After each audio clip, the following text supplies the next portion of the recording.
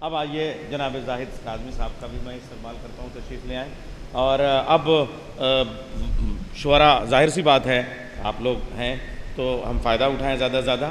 میں خطر نظامت نہیں کرتا، مگر بعض شعرا کے ایک ایک شعر ایسے جو میرے دل کو چھوتے ہیں۔ ویسے تو بہت شعر ایسے ہیں۔ سلیم بلام پوری ہمیشہ اپنا ایک لہجہ رکھتے ہیں، شعر کہنے کا، شعر پڑھنے کا، شعر پیش کرنے کا۔ اور ان میں بھی ایک شعر ایسا کبھی کبھی دل کو چھو جاتا ہے جو بالکل ایسا لگتا ہے کہ دھڑکنوں کے ساتھ آواز میں وہ شامل ہو رہا ہو۔ ایک شعر میں ان کا پیش کرتا ہوں کہ کوفے میں پھر ہے نہج بلاغا کھلی ہوئی۔ کوفے میں پھر ہے نہج بلاغا کھلی ہوئی۔ زینب کو سن لے جس نے علی کو سنانا ہو۔ زینب کو سن لے جس نے علی کو سن زینب کو سن لے جس نے علی کو۔ ایسے شعر جناب سلیم اللہ پوری صاحب کہتے ہیں، میں ان سے گزارش کروں گا کہ وہ تشریف لے آئیں اور ہمارے ساتھ ہمارے بزرگ شعرا بھی ہیں، ایک عہد ہے پوری شاعری کا نذیر بھائی، نیر بھائی، جرار بھائی، انشاءاللہ آپ سب کو سنیں گے زدار عظمی صاحب موجود ہیں۔ باواز بلند نعرہ سلوا سے آپ استقبال ہیں شعرا سقیفہ کو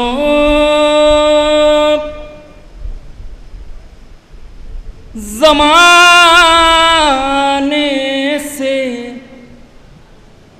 چھپایا جا رہا ہے کیوں؟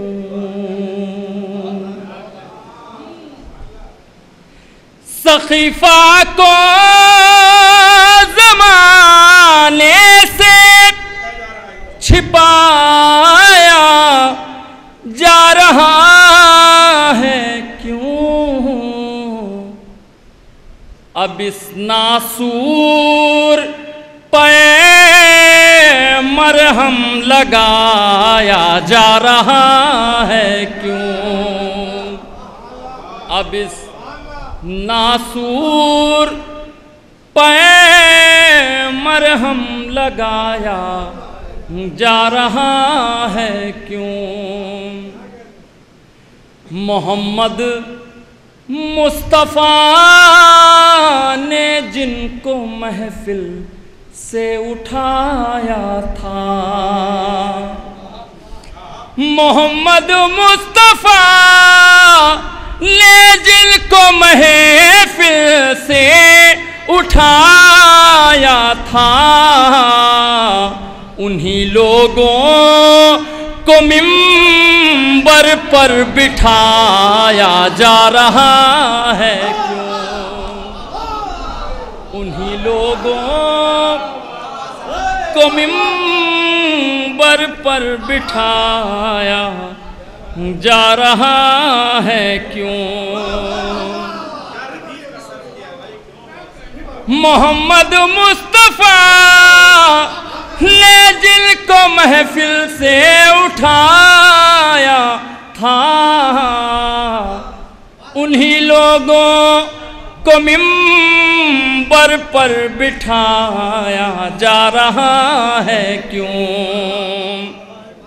شیر ملازہ فرمائے نہیں ہے مرد کیا کوئی بھی اصحاب پیمبر میں۔ نہیں ہے مرد کیا کوئی بھی اصحاب پیمبر میں علی کو آج خیبر میں بلایا جا رہا ہے کیوں؟ علی۔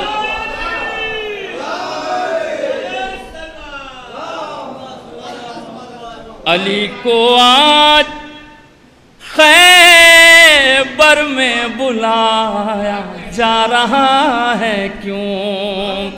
شیر ملاحظہ فرمائے مولا عباس کے چاہنے والے بیٹھے نظیر بھائی۔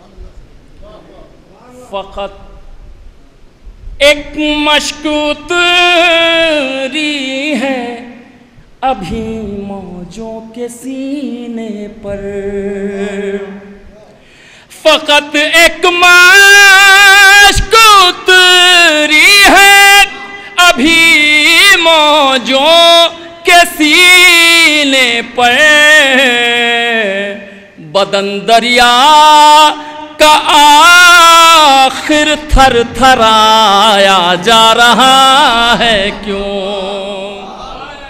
بدن دریا کا آخر تھر تھرایا جا رہا ہے کیوں؟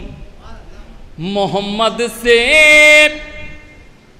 کوئی پوچھے سلا کر اپنے بستر پر۔ محمد سے کوئی پوچھے سلا کے اپنے بستر پر۔ علی کو آج پیغمبر بنایا جا رہا ہے۔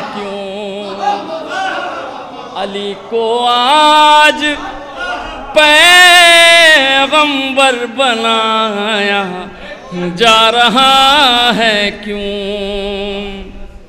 شملازہ فرمائے، ستم کی موت حق کی زندگی کی بات ہے ورنہ ستم کی موت حق